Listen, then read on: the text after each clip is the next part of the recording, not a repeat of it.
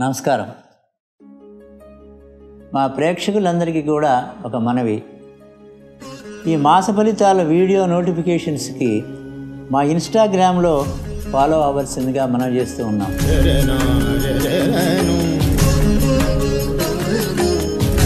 Sun rise TV Telugu ప్రేక్షకులకు శ్రీ శార్వరినామ సంవత్సర ఉగాది శుభాకాంక్షలు. శ్రీ శార్వరినామ సంవత్సర రెండు వేల ఇరవై ఇరవై ఒకటి కన్యారాశి సంవత్సర రాశి ఫలితాల కార్యక్రమానికి స్వాగతం హరి ఓం శ్రీ గురుభ్యో నమ గురుబ్రహ్మ గురుర్విష్ణు గురుర్దేవో మహేశ్వర గురు సాక్షాత్ పరబ్రహ్మ తస్మై శ్రీ గురవే నమ ఓం గణానాం ద్వా గణపతికిం హవామహే కవిం కవీనాముపమశ్రవస్తవం జ్యేష్ఠరాజం బ్రహ్మణాం బ్రహ్మణస్పత आनशृण्वन्नोदिभिस्सेदसादनं प्रणो देवी सरस्वती वाजेभिर्वाजनीवती धैनामभित्रिवतु श्रीगुरुभ्यो नमः श्रीमहागणाधिपतिभ्यो नमः వాగ్దేవి మహాసరస్వత్యై నమ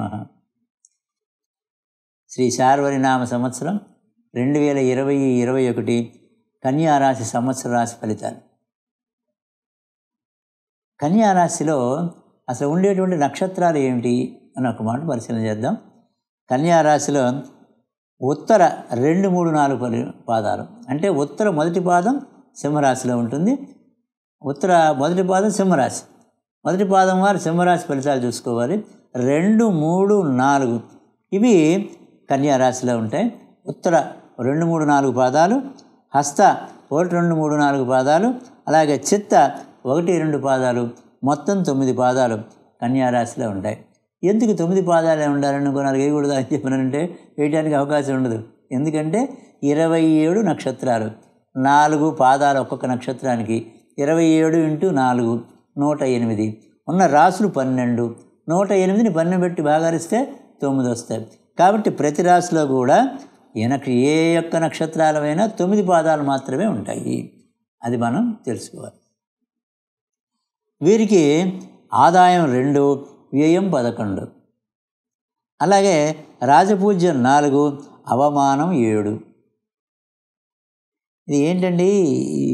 ఇది ఆదాయం రెండే ఉంది వ్యయం పదకొండు ఉంది రాజపూజ్యం నాలుగు అవమానం ఏమో ఏడున్నది ఇది చాలా ఎక్కువగా ఉన్నదండి. ఏంటి మాకు ఈ సంవత్సరం ఇట్లా ఉంది ఏమిటని? కొంత చాలామంది ఈ పాటికే మీరు చాలా పంచాంగాలు లేకపోతే ఇంకోటో కొనుక్కుంటారు. చదువుకుంటారు చెప్పినవి వింటూ ఉంటారు కాబట్టి చాలామంది కొంత భయాందోళన చెందుతూనే ఉండుంటారని నాకు తెలుసు. అయితే అది ఎంతవరకు మనం తీసుకోవాలి పరిగణనలోకి తీసుకోవాలి అనేటువంటిది కూడా మనం కొంత విచారణ చేసుకుందాం. దాన్ని బట్టి మనం చెప్పుకుందాం. చివరిలో అసలు ఆదాయం అంటే ఏమిటి వ్యయం అంటే ఏమిటి రాజపూజ్యం అంటే ఏమిటి అవమానం అంటే ఏమిటి విశేషాన్ని రాసులకి సంవత్సర ఫలితాలు చెప్పుకున్న మీద చివరిలో చెప్తాను దీని యొక్క విషయం. అసలు అలా ఉంటే ఏమిటి అర్థం? దానివల్ల మనం ఏమన్నా భయపడాలా? ఆందోళన చెందాలా? ఆదాయం తక్కువ వ్యయం ఎక్కువగా ఉంటే రాజపూజ్యం అంటే ఏమిటి? అవమానం అంటే ఎందుకు ఏమిటిది? ఇది మంచిదా? అనేటువంటి విషయాల్ని రాశిఫలాలకు చెప్పిన తర్వాత చివరిలో చెప్తాను. ఈ సంవత్సరం మీకు ప్రతి విషయంలో కూడా ఈ రాశి వారిదే పై చేయిగా ఉంటుంది. కన్యారాశి వాళ్ళకి ఈ సంవత్సరం చాలా ఉత్తమంగా ఉంది. గట్టిగా చెప్పాలంటే మిగతా రాశుల్లో కంటే కూడా కన్యారాశి చాలా బాగా ఉంది. ఈ సంవత్సరం మొత్తం మీద మీరు చాలా అదృష్టవంతులు. ఆనందదాయకంగా ఉండండి. సుఖ సంతోషాలు పొందండి. మంచి కార్యక్రమాలు చేపట్టండి. ఈ యొక్క కన్యారాశి వాళ్ళు ధార్మికమైనటువంటిది ఆధ్యాత్మికమైనటువంటి కార్యక్రమాలని చేయండి. సత్సంకల్పంతో చేయండి. నలుగురికి ఉపకరించేటువంటి యొక్క కార్యక్రమాలు చేయండి. ఈ సంఘంలో మనం జీవిస్తూ ఉన్నందుకు గాను సంఘానికి ఏదో ఒక మంచి కార్యక్రమాన్ని మనం చేయటానికి పూనుకోండి మీకు అవకాశాలు ఉన్నాయి కన్యారాశి వాళ్ళకి. అందుకు స్ట్రెస్ చేసి చెప్తున్నా ఈ విషయాలు ఈ సంవత్సరం ప్రతి విషయంలోనూ ఈ రాశి వారిది కూడా చాలా పైచేయిగా ఉంటుంది. సుమారు మూడు సంవత్సరములుగా ఉన్నటువంటి యొక్క అర్ధాష్టమ శని దోషం మీకు తొలగిపోయింది. అదొక సుముఖం మీకు. కన్యారాశి వాళ్ళకి సుమారు మూడు సంవత్సరాలుగా రెండున్నర సంవత్సరాలు పైగా అనుభవించారు. ఆ శని దోషం తొలగిపోయింది. ఎంతో కాలంగా ఆగిపోయినటువంటి యొక్క పనులన్నీ కూడా ఈ శార్వరీనామ సంవత్సరంలో మీరు పూర్తి చేసుకోబోతున్నారు. అవన్నీ కూడా అపరిష్కృతంగా ఉండేటువంటి పనులన్నీ కూడా పరిష్కారం అయిపోతూ ఉన్నాయి. ఈ యొక్క కన్యారాశి వాళ్ళకి ఈ శార్వరీనామ సంవత్సరంలో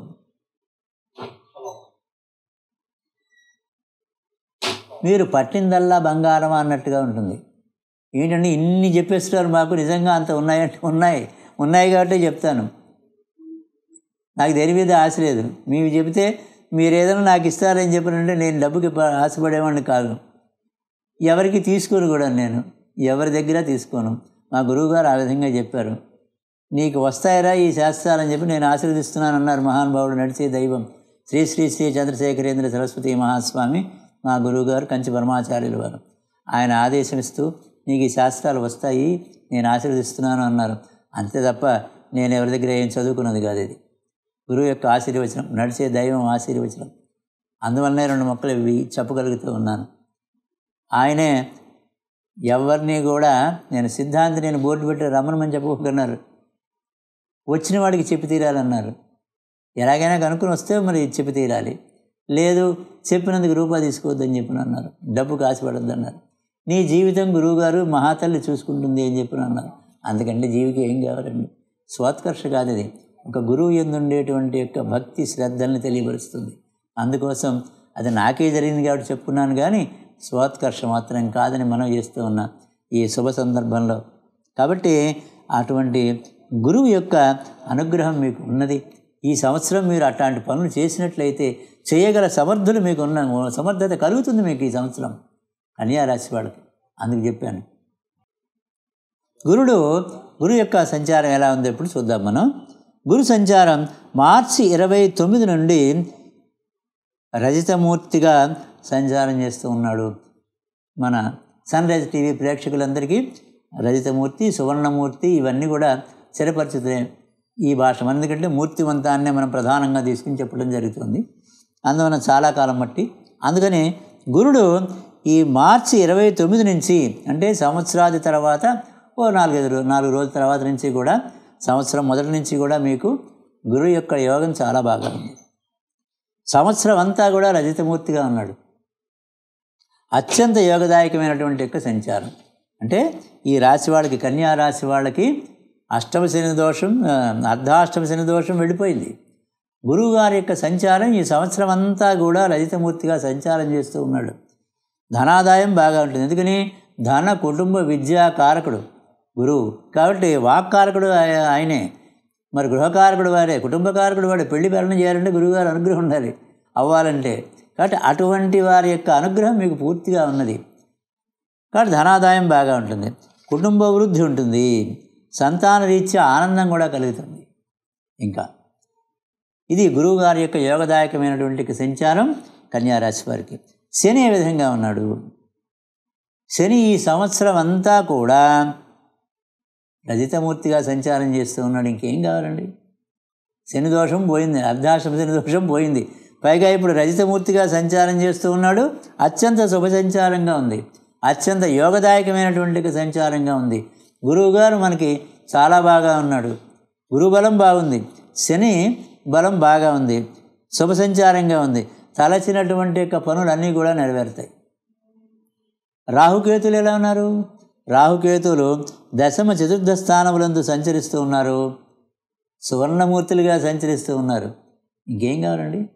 ఈ రాశి వాళ్ళకి గురువు బాగున్నాడు శని బాగా ఉన్నాడు. ఆ? ఏళ్ళ అర్ధాష్టమి శని దోషం పోయింది.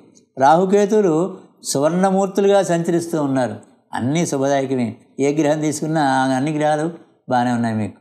ఇక రవి చంద్రుడు ఇవ్వంటారా? మనం ప్రతి మాసంలో చెప్పుకుందాం వాళ్ళ గురించి. ఓవరాల్గా ఈ సంవత్సరం అంతా కూడా ఈ గ్రహాల మీద ఆధారం. ఈ గ్రహాలు అన్ని గ్రహాలు బాగా ఉన్నాయి కన్యారాశి వాళ్ళకి.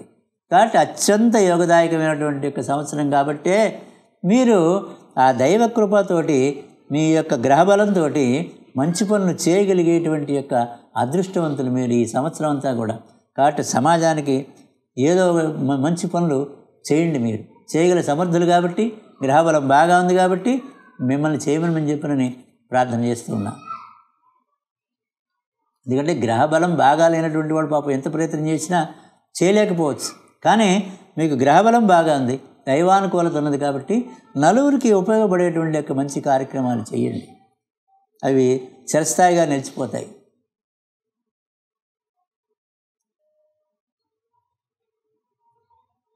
ఆరోగ్యం చాలా బాగా ఉంటుంది. శుభయోగాలు ఉన్నాయి ఇక ఒక్కొక్కళ్ళ ఒక్కొక్క రంగంలో ఉండేటువంటి వాళ్ళని తీసుకుందాం.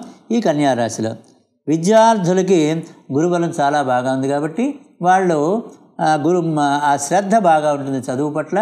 మంచి మార్కులు ర్యాంకులతోటి వాళ్ళు పాస్ అవుతారు. ప్రవేశ పరీక్షలన్నింటిలో కూడా పాస్ అవుతారు.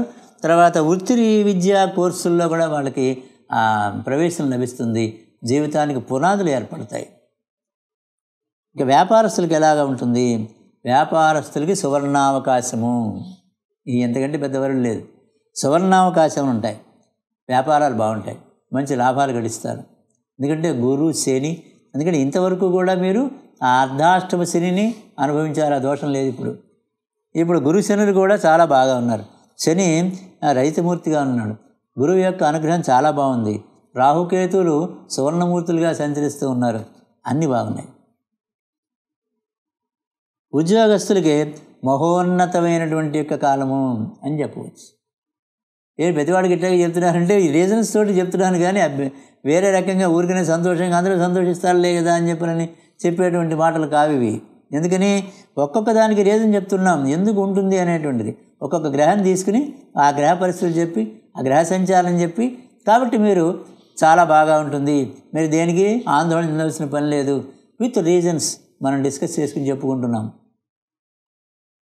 కాబట్టి ఉద్యోగస్తులకి మహోన్నతమైనటువంటి ఒక కాలంగా ఉంటుంది. చక్కగా వారికి ప్రమోషన్తో కూడినటువంటి బదిలీలు కూడా ఉంటాయి. కళాకారులకి కళాకారులకి గురుబలం బాగుంది శనిబలం బాగుంది కాబట్టి వాళ్ళ యొక్క ప్రతిభకు తగినటువంటి యొక్క గుర్తింపు లభిస్తుంది. ధనాదాయం బాగా ఉంటుంది. వాళ్ళకి సంగీత సాహిత్య నాట్య శిల్ప టెక్నీషియన్స్ సినీ టెక్నీషియన్స్ ప్రైవేటు వాళ్ళందరికీ కూడా చాలా బాగా ఉంటుంది. వృత్తి ఎవరి వృత్తుల్లో వాళ్ళు ఉండే వాళ్ళకి కూడా బాగుంటుంది. అంటే డాక్టర్లు యాక్టర్లు మరి ఇంకా పెద్ద న్యాయవాదులు ఇలాంటి వాళ్ళందరికీ కూడా బాగా ఉంటుంది.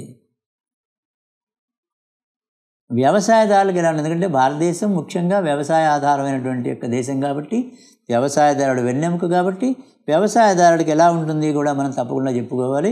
రెండు పంటలు కూడా చాలా బాగా ఉంటాయి. దిగుబడి బాగుంటుంది.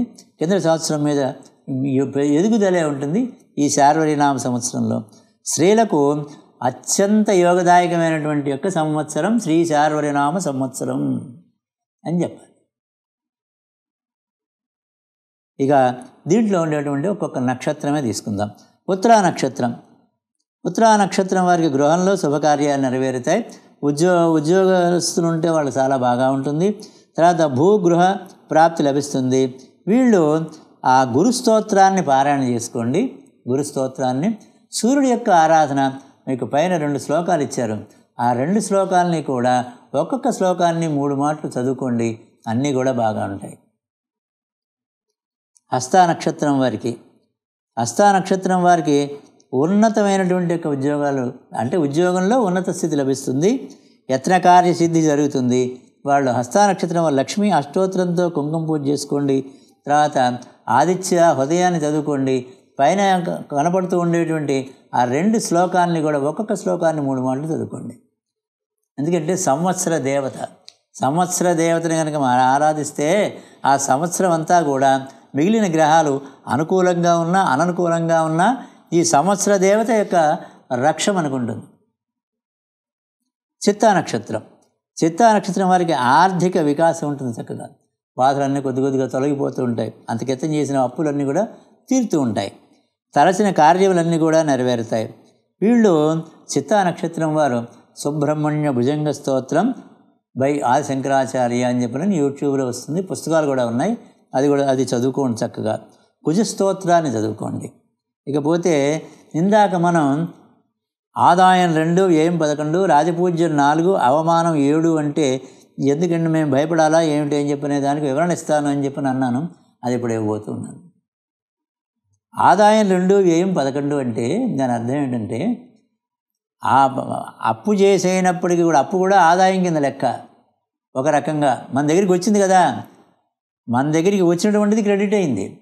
అయితే అది అప్పు తీసుకున్నాం. అంటే డెబిట్ డెబిట్ అవతల వాళ్ళ దగ్గర నుంచి అప్పు తీసుకుని ఇక్కడ మనం క్రెడిట్ చేసుకున్నాం మన పుస్తకాల్లో. అంటే అది కూడా ఒక రకమైనటువంటి యొక్క ఆదాయము. అంటే మన దగ్గర ఓ ట్వంటీ ఫైవ్ పర్సెంట్ ఉంటే పది లక్షలకి ఏదైనా ఒక ఇల్లు ఏదో కొనుక్కుందాం అనుకోండి ట్వంటీ ఫైవ్ పర్సెంట్ మన దగ్గర ఉంది. మిగిలినటువంటి యొక్క సెవెంటీ ఫైవ్ పర్సెంట్ ఏ బ్యాంకుల దగ్గర ఇంకో దగ్గర మనం అప్పు తెచ్చుకుంటాం. అది ఏమే దాన్ని మొత్తం కలిపి మనం ఏ అపార్ట్మెంటో లేదా ఇల్లు కట్టుకోవటమో లేదా ఒక శుభకార్యం చేయటమో ఇలాంటి కొన్ని మనం చేస్తాం. కాబట్టి ఆ వ్యయం పదకొండు ఉంది అంటే అర్థం ఏమిటి? ఒక శుభకార్యం మనం చేయబోతున్నాము. ఒక ఇన్వెస్ట్మెంట్ని దాన్ని ఒక శుభకరమైనటువంటి ఒక ఇన్వెస్ట్మెంట్ని చేయబోతున్నాము అని అర్థం. అంతేగాని పదకొండు ఏమైపోతుంది అని చెప్పని మీరేం భయపడక్కర్లేదు. ఆందోళన చెందవలసినటువంటి యొక్క అవసరం లేదు. శుభకార్యానికి ఒక శుభగ్రహ కార్యక్రమానికి ఒక శుభకరమైనటువంటి ఒక ఎసెట్ని మీరు సంపాదించుకోవడానికి ఇన్వెస్ట్మెంట్ చేయబోతున్నారు అని అర్థం చేసుకోవాలి. వ్యయం ఎక్కువగా కనుక దీంట్లో మనం చూపించిన కనపడితే. అలాగే రాజపూజ్యం నాలుగు అవమానం ఏడు. ఇదేంటంటే ఎక్కడికి వెళ్ళి అవమాన పాలైపోతామా అని చెప్పని అనుకుంటారు. కాదది. దాని అర్థం. అంటే ఒక మంచి కార్యక్రమాన్ని చేస్తారు మీరు. మంచి కార్యక్రమాలను చేసేటువంటి వాళ్ళు అంటే సంఘానికి ఉపకరించేటువంటి సమాజానికి అందరికీ కూడా ఉపకరించేటువంటి యొక్క సత్సంకల్పంతో కొన్ని కార్యక్రమాలు చేస్తే అందరూ కూడా ఆనందిస్తారు. ఆనందం అందరికీ కలిగింపజేస్తారు మీరు. అటువంటి కలిగించినప్పుడు వాళ్ళు మిమ్మల్ని పొగుడుతూ ఉంటారు. పొగడ్తలకి మనమే ఉబ్బిపోన అవసరం లేదు. కానీ మనం మంచి పని చేశాం కాబట్టి వాళ్ళకి మంచి జరిగింది కాబట్టి ఆనందపడతారు. అందువలన వాళ్ళు మనని గౌరవాన్యంగా పిలుస్తారు. గౌరవ గౌరవాలు ఇస్తారు మన్ననలు ఉంటాయి మనకి. ఇది చూసి చాలా కొంతమంది ఓరవలేని వాళ్ళు ఉంటారు. ఇది ప్రప ప్రపంచం ఇది. మన ఐదు వేళ్ళే ఐదు రకాలుగా ఉంటాయి ఒక మనిషికి. కాబట్టి ప్రపంచంలో లోకో భిన్న రుచి అన్నారు. లోకంలో ఉండేటువంటి మానవులంతా ఒక రకంగా ఉంటారు ఉంటే అది ఇదంతా ఎందుకు? అందుకని అదంతా కృతయుగం ఉండేది. అందుకని చెప్పినని ఈ ఈ మన్ని అవమానపరిచి రాక్షసానందాన్ని పొందేటువంటి వాళ్ళు కొంతమంది ఉంటారు. వాళ్ళు ఎక్కువగా ఉన్నారు. అంటే అర్థం ఏమిటి? వాళ్ళకి కూడా అసూయ కలిగించేటువంటి యొక్క మంచి పనులు ఈ రాశి వాళ్ళు చేయబోతున్నారు అని చెప్పినని అర్థం అనమాట అక్కడ. అలా తీసుకోవాలి. కాబట్టి ఆదాయం రెండు వ్యయం పదకొండు అంటే ఆనందంగా తీసుకోవాలి అర్థం.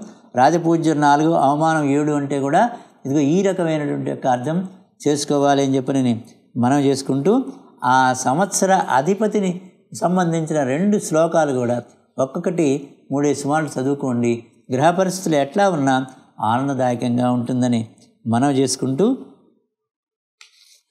నవగ్రహాల యొక్క కూడా ఈ రాశి వారికి కన్యా రాశి వారికి అత్యంత శుభ ఫలితాలు ఇవ్వాలి అని చెప్పిన పరమాత్మని ప్రార్థన చేస్తూ సర్వే జనా సుఖనో భవంతు స్వస్తి.